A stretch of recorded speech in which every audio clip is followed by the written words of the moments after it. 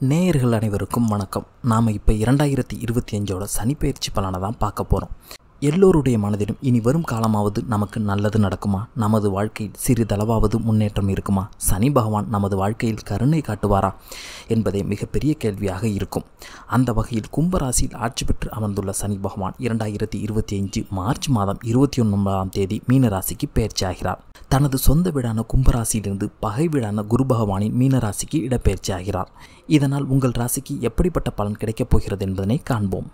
அன்பார்ந்த மேஷராசினியர்களே இதுவரை லாபஸ்தானத்தில் உள்ள சனி பகவான் இரண்டாயிரத்தி இருபத்தி அஞ்சு மார்ச் இருபத்தி ஒன்பதாம் தேதிக்கு பிறகு விரயஸ்தானத்திற்கு சென்று விரயசனியாக அமரப்போகிறார் அதாவது உங்களுக்கு ஏழரசனி தொடங்கப் போகிறது. இப்பொழுது கூட நீங்கள் ஏற்கனவே ஏழரசனி தான் மாட்டின மாதிரி தான் இருக்கும். இதில் புதுசாக என்ன ஏழரசனி என நீங்கள் நினைப்பது புரிகிறது. சனி லாபஸ்தானத்தில் இதுவரை இருந்தாலும் கடந்த இரண்டரை வருடமாக வாழ்க்கையில் ஒன்றும் சரியாக இருந்திருக்காது. காரணம் சனியின் நேரடி பார்வை உங்கள் மீது விழுந்தது தான் லாபஸ்தனியாக லாபத்தில் இருந்தாலும் சேமிக்க முடியாத நிலையில் தான் சனி பகவான் இருந்திருப்பார். வரவுக்கு மீறி செலவும் இருந்திருக்கும் இந்த காலகட்டத்தில். அதுதான் எங்களுக்கு ஏற்கனவே தெரியுமே. இப்படிப்பட்ட நிலையில் ஏழரிசனியா என நீங்கள் நினைப்பது புரிகிறது. மேஷராசி நேயர்களே கவலை வேண்டாம். ஏழரிசனி காலத்தில் நன்மை நடக்கப் போகிறது. கவலைப்படாதீர்கள். இந்த சனிப்பெயர்ச்சி குடும்ப நிலை சிறப்பாக உயரப்போகிறது திருமணம் குழந்தை பாக்கியம் போன்ற அமைப்பு சிறப்பாக அமையப் போகிறது. நீண்ட நாட்களாக இருந்த திருமண தடை முற்றிலும் நீங்கி திருமண பந்தம் உண்டாகப் போகிறது. மேலும் இந்த காலகட்டத்தில் சொந்த வீடு அமைப்பு சிறப்பாக அமையப் போகிறது. குருவின் வீட்டில் சனி இருப்பதால் நிறைய நன்மைகளை உண்டாகப் போகிறது. எப்படியாவது கடனை உடனே வாங்கியாவது சொந்த வீட்டை அமைப்பை உருவாக்கி கொடுக்கப் போகிறார் சனி பகவான். மேலும் பனிரெண்டாம் வீட்டிற்கு சனி வருவதால் தொழில் விரயம் ஏற்படும்.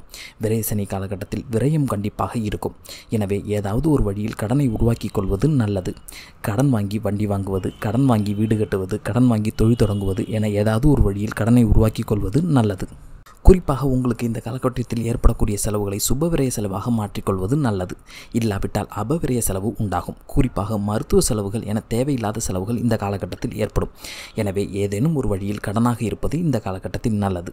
இந்த சனிப்பயிற்சி காலகட்டத்தில் மன உளைச்சல்கள் இருக்கத்தான் செய்யும். தொழில் வேலை குடும்பம் என ஏதாவது ஒரு வழியில் மன உளைச்சல்கள் இருக்கும். இருப்பினும் சனி எதையும் உங்களிடமிருந்து எடுத்து செல்ல மாட்டார். சனி எப்பொழுதும் எதையாவது ஒன்றை உருவாக்கி கொடுத்துவிட்டு தான் செல்வார். கவலை வேண்டாம். சனி கொடுப்பதை எவர் தடுப்பார் என்பார்கள். என்ன கொடுக்கும் பொழுது அதற்கான கஷ்டத்தையும் சேர்த்து கொடுப்பார். அப்போதான் அந்த கொடுப்பினையின் அருமை புரியும். ஒரே வார்த்தையில் சொல்ல வேண்டுமென்றால் வாழ்க்கைனா என்ன? வாழ்க்கையின் படிப்பினைகளை கற்றுக் கொடுத்து விட்டு தான் சனி பகவான் செல்வார். இந்த காலகட்டத்தில் சொந்த தொழில் அமைப்பு சிறப்பாகவே இருக்கப் போகிறது. பல காலமாக தொழிலாளியாக இருந்த நீங்கள் ஏதாவது ஒரு வழியில் முதலாளியாவீர்கள். தொடங்கும் தொழிலில் ஏற்ற இறக்கம் இருந்தாலும் ஏதாவது ஒரு வழியில் மன நிம்மதியையும் மனநிறைவையும் சனி கண்டிப்பாக கொடுப்பார்.